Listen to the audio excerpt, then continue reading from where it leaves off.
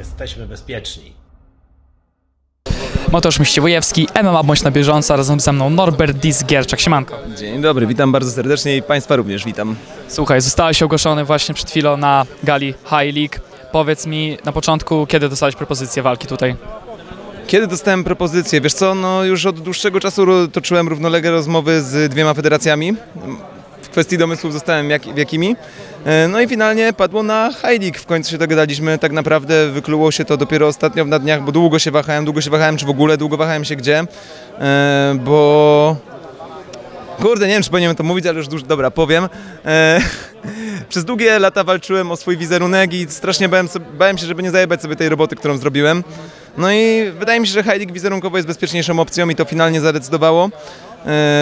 Bo jakby wydaje mi się, że tutaj wszystko odbywa się trochę w bardziej kulturalnej atmosferze i to mi bardziej leży chyba, wiesz? Dymy też tu są. No nie, no ja nie mówię, że nie ma, no jakby nie było dymów na freak fightach, to byłaby totalna stypa, e, ale wydaje mi się, że tutaj jednak, no nie wiem, jakoś bardziej czuję, wiesz, takie mam, czasem masz takie tak zwane gatsy, no nie, no to ja to mam właśnie w kierunku League'a, jakoś tak padło. Słuchaj, a ty się już chyba y, zajawiłeś w MMA już y, strasznie dawno, bo ja pamiętam nawet twoje sparingi z Dawidem Malczyńskim, jak stawiałeś tam na internecie. Oj nie, to słuchaj, to jak z Dawidem Malczyńskim poszedłem sparować stary, to ja chodziłem do szkółki kickboxingu raptem przez dwa miesiące i od tego czasu miałem tam kilka miesięcy przerwy i mówię, nie no tam wiesz, no stój, to umiem, to w stój, to możemy zrobić sparring, nie, tam wiesz, dwie lekcje w tygodniu na otwartym tym klubie, poziom... y, początkujący slash jak... Nie, to chyba nawet nie był średnio zaawansowany. Nieważne, w każdym razie totalnie nic tam nie umiałem, co było widać na tym filmie. Nie wierzycie, to sobie wróćcie. Yy, no i co? No, no, no wtedy po, po tym długo, długo nie trenowałem nic sportów walki. Słuchaj, ale chyba też bardzo duża przemiana w twoim ciele, bo widzę, bo jak sobie przypominam właśnie ten pojedynek, to wyglądałeś zupełnie inaczej. Tak, no w sensie keto robi cuda. keto robi cuda, ale nie pomaga w treningach, więc teraz powoli sobie schodzę z ketozy, wracam do węgli, a wciąż chcę jeszcze parę kilo zbić, bo docelowo jest spora szansa, że chciałbym się bić w 7,74. Zobaczymy, czy to się uda.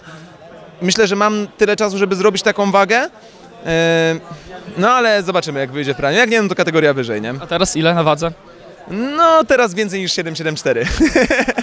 Słuchaj, e, jesteś od tamtego czasu właśnie, wiesz, e, od tych, e, co jeszcze wstawiałeś właśnie w te sparingi, czy jesteś od tamtego czasu w treningu cały czas?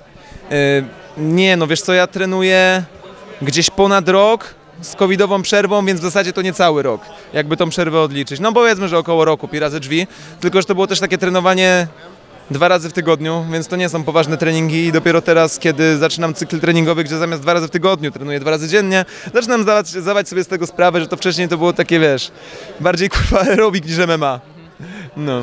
Słuchaj, chciałem się ciebie też zapytać e, o to, jak ci się podobała ta gala, bo to pierwsza gala High League i jak, jak wrażenia?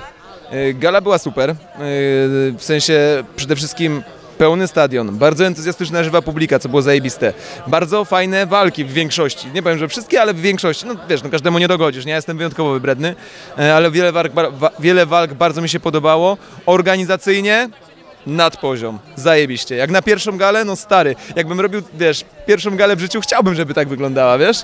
Przyznam, przyznam, że gala jest na bardzo wysokim poziomie. Słuchaj, która walka najbardziej przypadła ci do gustu? Która walka przypadła mi najbardziej do gustu? No mojego ziomeczka, Kuby Nowaczkiewicza.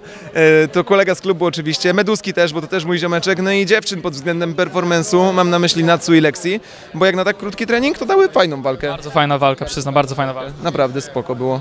Słuchaj, no to teraz przejdźmy do ciebie. Powiedz nam, czy znasz już swojego przeciwnika. Nie, nie znam swojego przeciwnika. E, w tym momencie no jakby organizatorzy mieli dużo roboty z samym dopięciem tej gali. Mm, Podjęliśmy decyzję, że chcemy się ogłaszać na tej. To też tak naprawdę na dniach wyszło, e, że chcemy działać razem. No a na przeciwnika dopiero teraz będziemy, że tak powiem, polowali.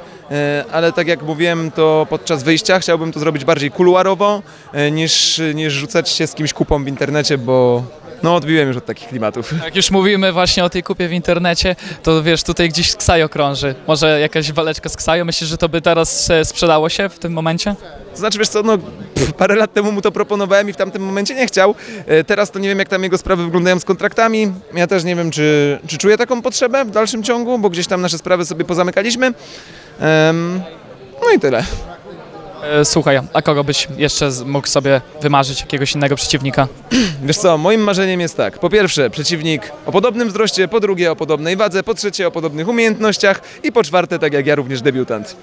I to, jest moje, to są moje kryteria Jak przeciwnika, tak, bo uważam, że im bardziej wyrównany poziom między zawodnikami, tym fajniejszą walkę można zrobić, tym więcej emocji ona budzi, e, a jaka tam chemia wyjdzie między zawodnikami, to wychodzi gdzieś tam w trakcie na galach, czy będzie, wiesz, fajna, pozytywna energia i wzajemna beka, czy będzie może stypa, czy może będzie kosa i będą srogie dymy. To wychodzi w praniu e, i uważam, że to, to jest najfajniejsze e, i dużo lepsze niż na przykład, wiesz, rzucanie w siebie kupą jeszcze, żeby, żeby tylko ktoś tam przyjął ode mnie to wyzwanie, to jest słabe i wiesz, takich kasztańskich wyzwań na pewno nie będę dźwigał. Słuchaj, ale będziesz chciał to trochę poddymić w tej federacji? Znaczy, wiesz co? No nie będę nic zrobił na siłę, stary, ale nie wiem, też nie będę jakoś hamował piętą, jeżeli ktoś będzie naprawdę mocno próbował. Wiesz, do pewnego momentu na pewno będę się gdzieś tam powstrzymywał, bo będę na pewno, moim założeniem jest zachować możliwie jak najwyższy poziom, no ale z drugiej strony ja jestem prostym chłopakiem z bloków. Ten poziom nie może być za wysoki, stary. No to ostatnie pytanie. E, Kiedy walka? Na najbliższej gali, czy jeszcze później? Mam szczerą nadzieję, że na najbliższej. Ale zagwarantować Jeszcze nie jest ustalone, na której, tak? Yy, mam nadzieję, że, że na najbliższej, ale to czy to będzie, no to też jest trochę w rękach włodarzy, nie? Dobra, no to co, ja Ci dziękuję bardzo za wywiad i życzę udanych przygotowań do walki. Dzięki stary.